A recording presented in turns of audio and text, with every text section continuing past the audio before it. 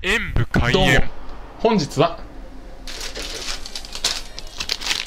ちらローソンの。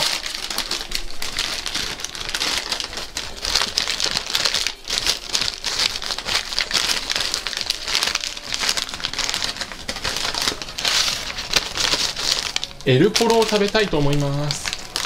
ローソンのコロッケ。前のポテトサラダが特殊なやつですがこちらは通常版ですねではいただきますじゃがいもの美味しさシンプルに感じられますねホクホクじゃがいもがホクホクで、中にちょっとゴロッとしたのがあって、それで食感も楽しむことができました。じゃがいもをた心ゆくまで楽しみたい人にぴったりのコロッケですね。美味しかったです。ご視聴ありがとうございました。コメントしていただけると嬉しいです。パソコンおよびスマートフォンのアプリの方はクリックをお願いします